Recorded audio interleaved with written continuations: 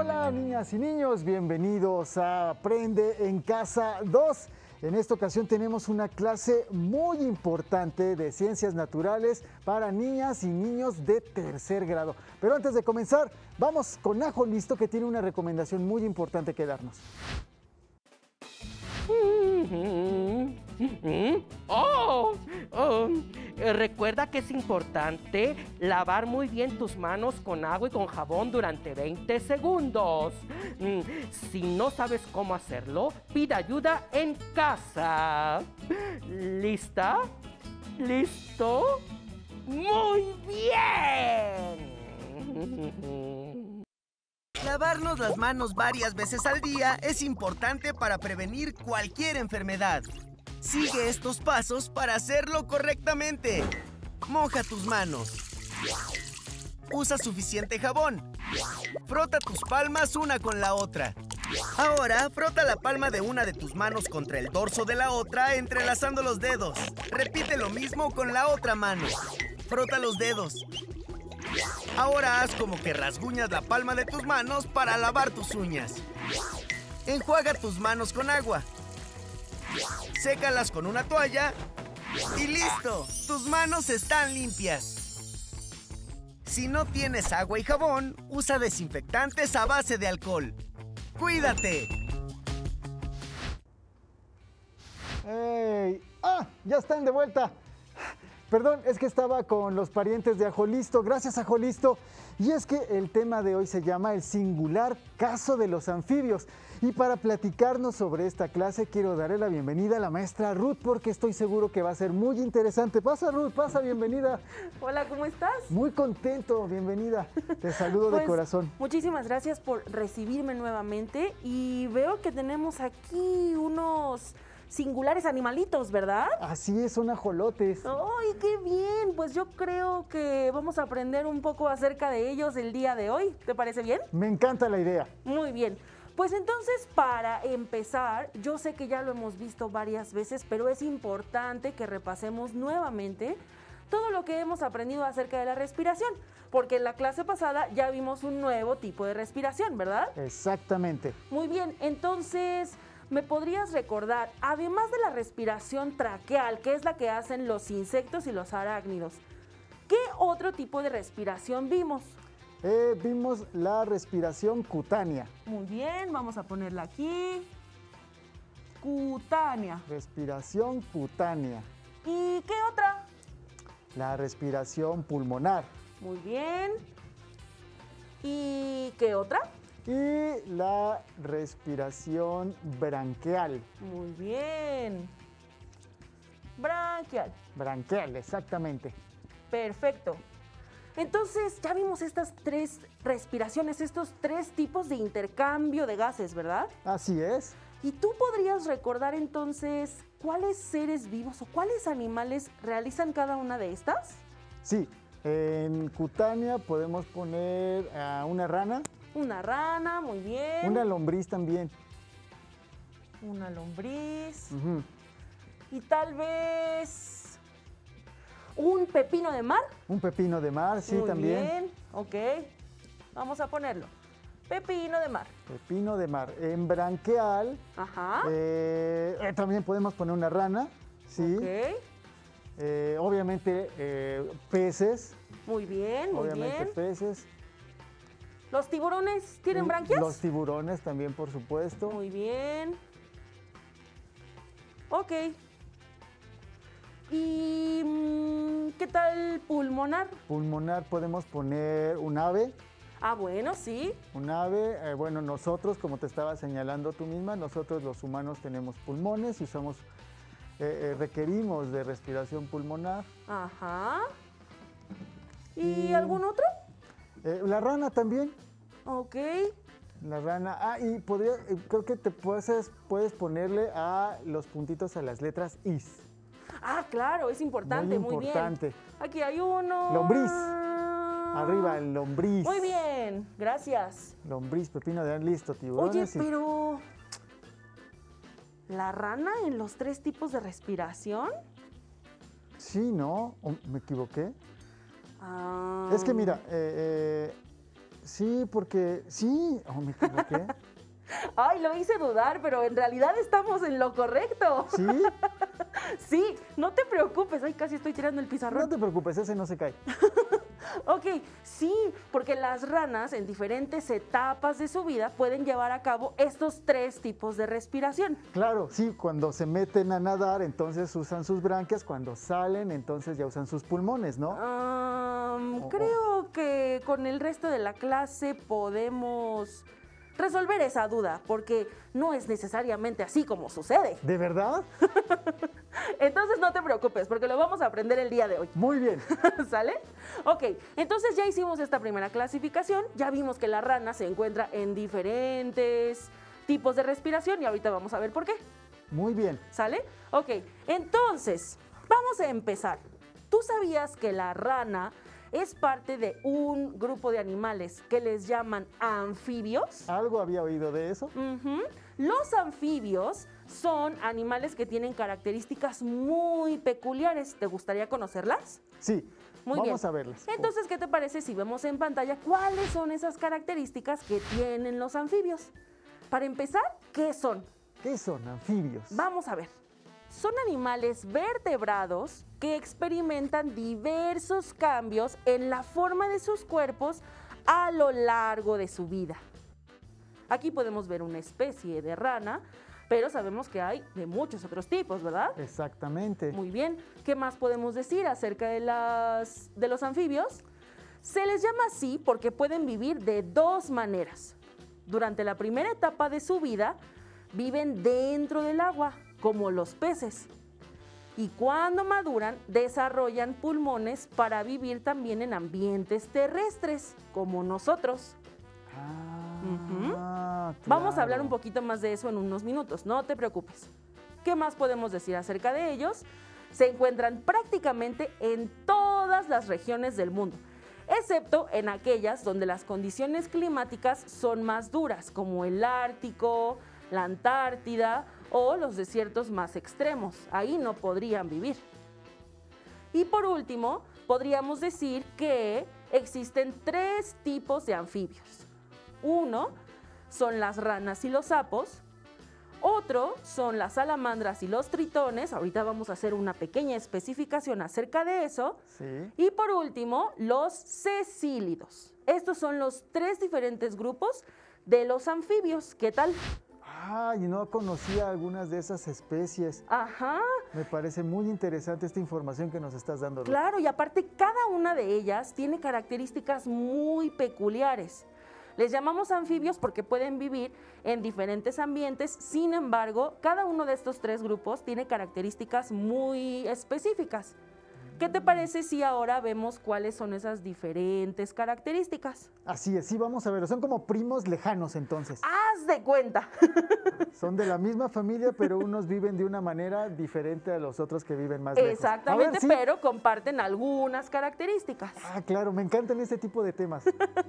Muy bien, vamos a ver entonces en nuestra pantalla a nuestro primer grupo de anfibios que son las ranas y los sapos. Mira, aquí tenemos algunos ejemplos y podemos ir viendo también algunas de sus características.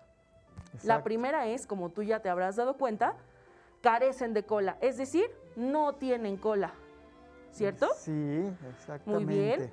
Otra que podemos ver es que su cuerpo es corto y ensanchado, ¿verdad? Sí, son así grandes. Exacto. parece que están muy fuertes.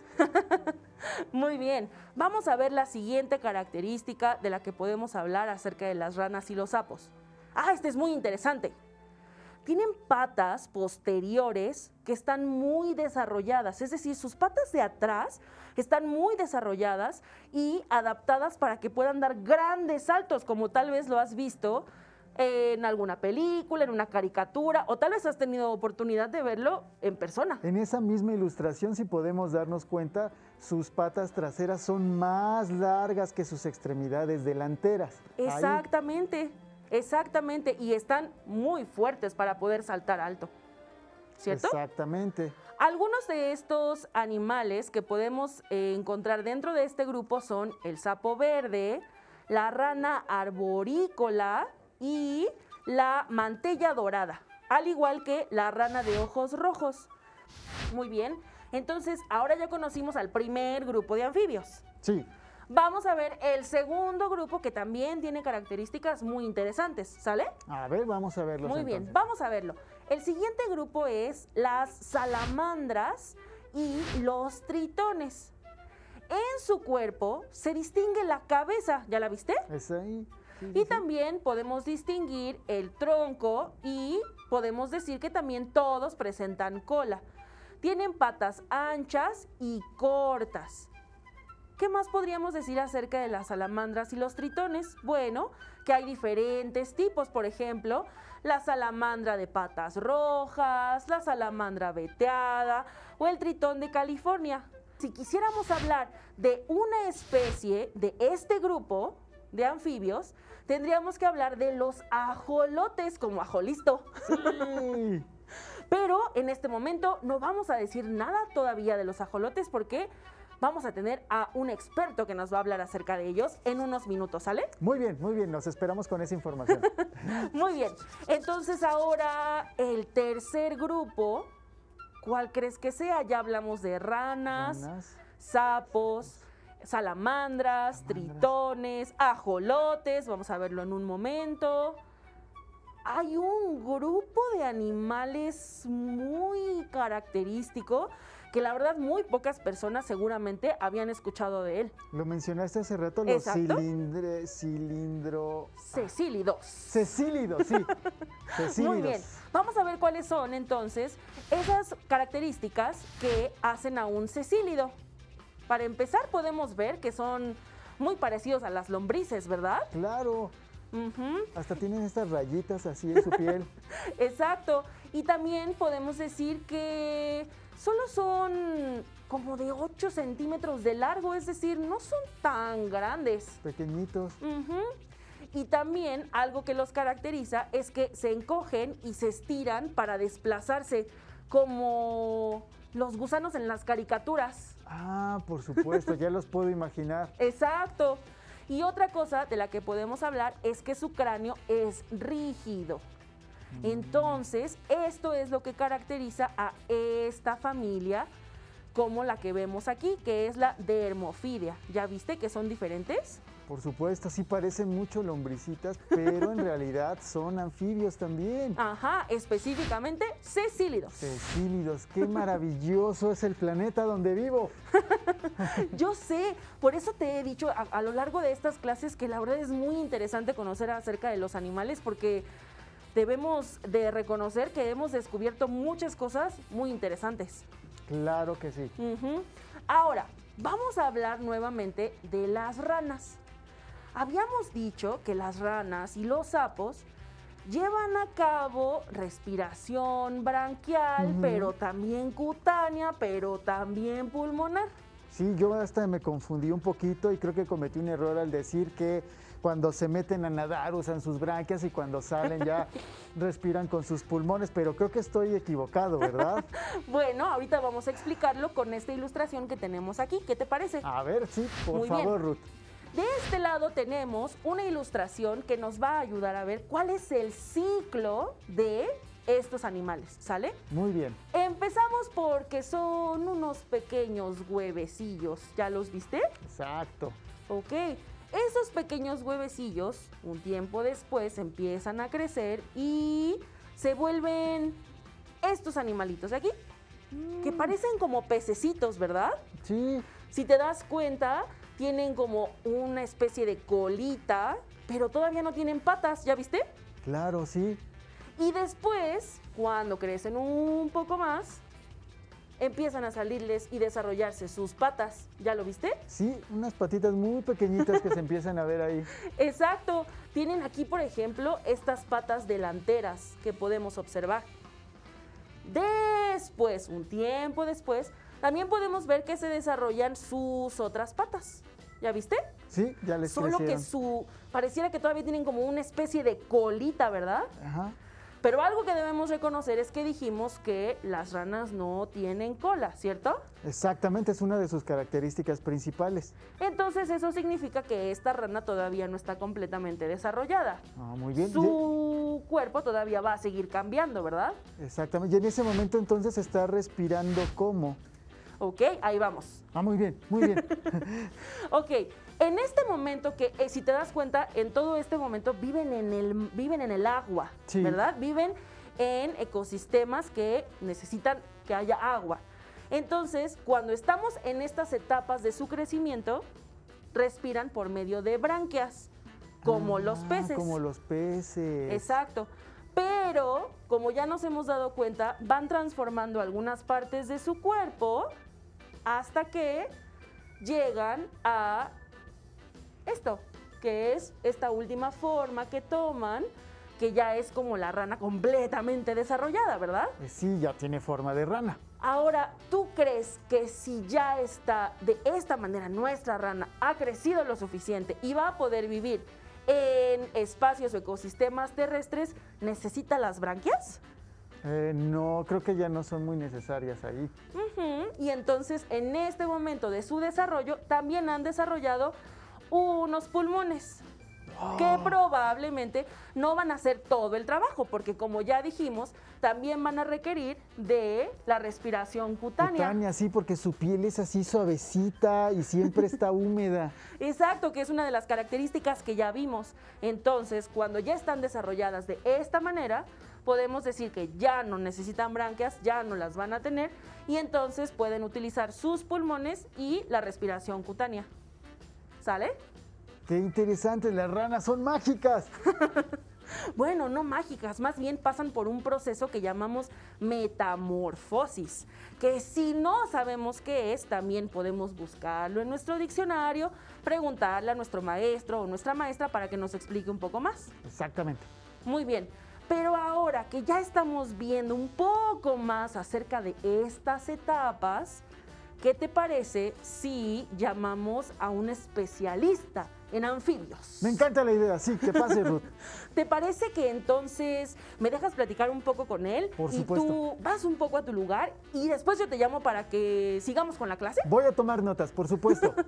Muy bien, pues entonces tenemos ahora a nuestro invitado especial del día de hoy, que es el doctor Diego Chaparro Herrera, que nos va a hablar un poco más acerca de los anfibios y específicamente de los ajolotes. Bienvenido.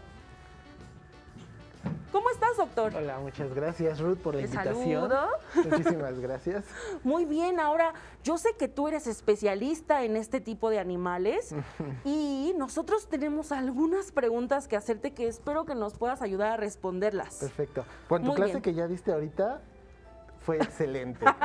Muchísimas gracias, pero como tú eres experto, entonces seguramente vas a saber muchísimas más cosas súper interesantes. ok. Entonces, primero yo quisiera preguntarte, ¿qué es un ajolote? Un ajolote, como lo explicaste hace rato, eh, es un anfibio que entra en uno de los tres grupos. Dijiste que eran eh, anuros, urodelos y los cecílidos. Ajá. ¿Ok? Eh, vamos a ver tres características muy diferentes en cada uno de los grupos, como tú lo mencionaste, Ok. que era lo- las ranas, Ajá. los ajolotes o tritones que decías y lo- las cecilias, ¿no? Muy bien. Que en forma de lombriz. Muy Eh, bien. ¿Qué característica tan importante tienen los, los ajolotes que vendrían siendo los urodelos, el grupo de los urodelos en, en América, principalmente en América del Norte? Estos son los ajolotes. Vamos a tener a partir de la mitad de nuestro país, que es el eje neovolcánico o el eje transversal, eh, hacia Canadá. Y tenemos la fortuna que en México tenemos mm, 22 especies de ajolotes. ¡Wow! Son bastantes. Exacto, no nada más tenemos este, que es la especie Ambistoma mexicanum, que la encontramos solamente en Xochimilco, Muy bien. sino vamos a tener un, eh, ajolotes en Hidalgo, en Puebla, en Michoacán y en el Estado de México. Oh, Estos ajolotes bien. son endémicos. ¿Qué es un ejo- endémico? Que solamente lo vamos a encontrar en ese lugar. Esa es una característica muy importante de este ajolote, que solamente lo tenemos en la Ciudad de México, en el lago de Xochimilco, el ambistoma mexicano, que es Oh. endémico de ahí. Tenemos endémicos, por ejemplo, de Lerma en el Estado de México, el ambistoma lermense, Mm. el ambistoma velasi en Hidalgo, el ambistoma altamirani. Están en varios lugares, ¿cierto? Ajá. Ok, y ya nos explicó un poquito sobre estas 22 especies que hay de ajolotes, ¿verdad? Sí, asimismo cabe destacar que los ajolotes tienen una importancia cultural muy importante Eso para te iba a preguntar, exacto. ¿Por qué son importantes los ajolotes? Pues han vivido en la parte central, principalmente esta especie Ambistoma mexicanum, cuando teníamos los grandes lagos. Y entonces, ¿podría hacerte una pregunta más? Ajá, claro. Muy bien, ¿cuál es la situación de los ajolotes con relación a su hábitat? Actualmente los ajolotes están en estado crítico. ¿Por qué? Porque tenemos una destrucción del hábitat, eh, Ujú. que es principalmente el lago de Xochimilco. Tenemos que se ha fragmentado para la construcción, que se están vertiendo eh, residuos o aguas contaminadas. Y algo muy importante, a partir de la, de la década de los 90, hubo una introducción de especies invasoras. O sea, ¿a qué me refiero con esto? Especies que no son del lugar, no son nativas, y se adaptaron y desplazaron a esta, es- a esta especie de anfibio. Estamos hablando de dos peces, que es la carpa y la tilapia. O sea, como que dominaron ese ecosistema y entonces eh, se vio afectado el ajolote. Exacto. Ok, muy bien. Entonces, eso significa que pod- podríamos decir que están en peligro de extinguirse, ¿verdad? Exacto. Eh, y es por eso que en, en la universidad hemos hecho algunas estrategias para salva- salvaguardar a esta especie. Hacemos investigación de conservación, eh, qué efectos tiene la calidad del agua sobre el organismo, asimismo bien- ve- viendo cuáles son los efectos adversos que tienen con las especies invasoras. Ok, y con todo esto que tú has hecho con el equipo de expertos con el que trabajas, a mí también me gustaría preguntarte, ¿por qué decidiste estudiar a los ajolotes? ¿Qué fue lo que te motivó a especializarte en los ajolotes? Los ajolotes, es, eh, yo siempre he dicho que es un organismo enigmático. Presenta tres características muy importantes, bueno, cuatro, con esta característica que pueden respirar por pulmones, por branquias y por la piel. Esa sería una característica. La siguiente presenta un fenómeno que se llama neotenia. Ese fenómeno se podría resumir a que son niños eternamente. Esta especie. No, o sea, como que no terminan de desarrollarse. Eh, ca- físicamente no. Ok. Son como niños eternamente y a esa característica le sumamos otra que es la paedomorfosis. Entonces, Oh. la neotenia es cuando pueden reproducirse siendo larvas. Pu- Pueden tener hijos siendo larvas.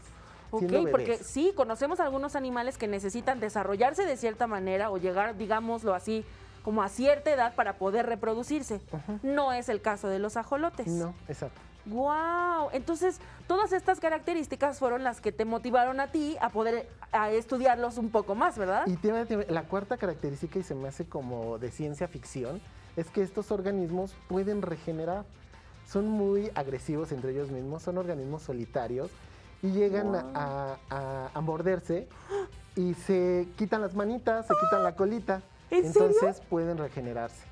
O sea, ¿puede crecerles otra vez sus patitas? Exacto. ¡Guau! Yo pensé que eso solo pasaba en la televisión. No es lo que te digo, pues, es como una característica de ciencia ficción. Regeneran hueso, regeneran nervios, regeneran sistema nervioso eh, circulatorio, muscular. ¡Qué increíble! Pero lo más asombroso es que ha, ha habido estudios donde estos organismos pueden regenerar el músculo cardíaco. ¿Qué? ¿Su corazón? Exacto. No puede ser. Oye, no lo creería. Entonces, esto comprueba todo lo que acabamos de decir unos minutos antes, que es tan interesante seguir conociendo acerca de los animales y nos encontramos con estos datos tan increíbles que nos hacen valorar un poco más esta diversidad que hay en nuestro país principalmente, ¿verdad? Oye, pues muchísimas gracias, de Gracias verdad. ti. Yo sé que todas las niñas y todos los niños van a estar encantados con esta información y de verdad te agradecemos que sigas estudiándolos porque personas como tú son las que nos van a enseñar a nosotros más acerca de estos animales y otros especialistas acerca de otros animales. Muchísimas gracias. Muchísimas gracias a ustedes por la invitación. Hasta luego. Hasta luego. Eric, ¿puedes volver, por favor? Sabía cosas de los ajolotes, tenía algunos datos, pero nunca me imaginé que eran capaces de regenerar también partes de su corazón. Qué impresionante. Yo también sabía como algunas cosas, pero creo que todo lo que nos dijo el doctor Diego nos va a hacer que nos quede todavía más claro qué importante es que cuidemos a esta especie. Muy bien, pues creo que con eso podemos terminar con la clase para que entonces los niños y las niñas tengan oportunidad de asimilar todo lo que aprendimos el día de hoy, revisar cualquier otra duda que tengan y el día eh, de mañana podemos seguir con otra clase interesantísima. Y pues bueno, muchísimas gracias a- al doctor Diego Chaparro por esta fascinante explicación que nos dio. Seguramente amplió mucho el tema de, de estos animales para nosotros. Y bueno, de nuevo, Ruth, muchísimas gracias a ti por estas maravillosas clases que nos estás dando. Muchas gracias. Si te es posible, consulta otros libros y comenta el tema de hoy con tu familia. Si tienes la fortuna de hablar una lengua indígena, aprovecha también este momento para practicarla. Por hoy hemos terminado con el tema El singular caso de los anfibios, de la asignatura Ciencias Naturales de tercer grado. Espero que lo hayas disfrutado tanto como nosotros. Hasta aquí terminamos con tercer grado. Le damos las gracias a las maestras y a los maestros que nos dieron clases el día de hoy. Nos vemos mañana. No se muevan porque continuamos con educación física. Pero antes de ir, Ruth, ¿qué te parece si nos levantamos de nuestros asientos, tomamos mucho oxígeno para hacer este intercambio de gases y comenzamos a movernos con el siguiente video?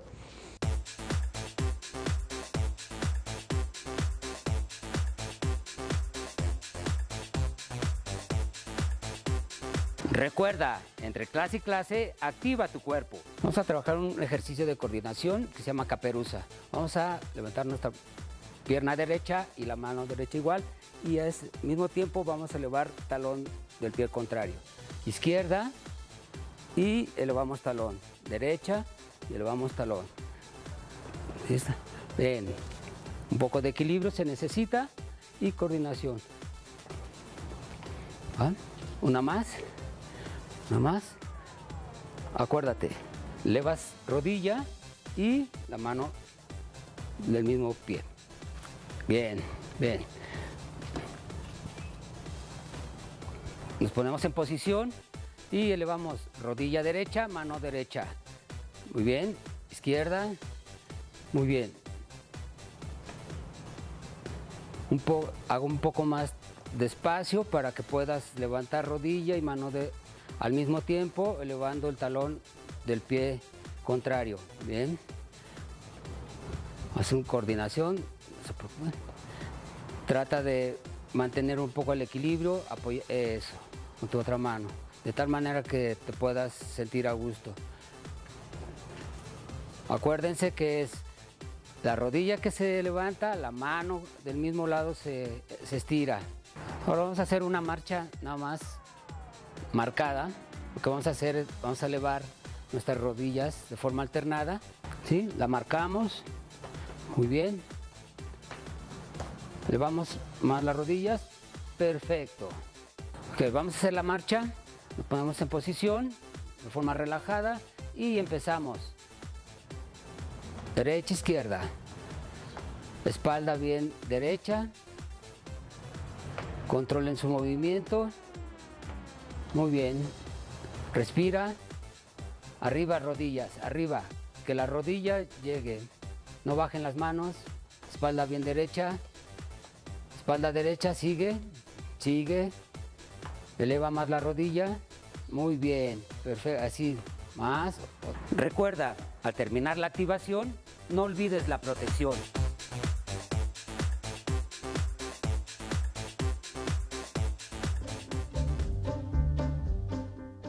Si no tienes el libro de texto o necesitas ayuda para resolver tus dudas, contáctanos. Para solicitar apoyo pedagógico, comunícate con maestras y maestros de lunes a viernes de 8 a 20 horas al teléfono 55 41 72 04 13. 100 líneas. También puedes encontrar los libros de texto en la página conalitech.cep.gov.mx. Si quieres volver a ver los programas de Aprende en Casa 2, los puedes encontrar en la siguiente liga, aprendeencasa.cep.gov.mx.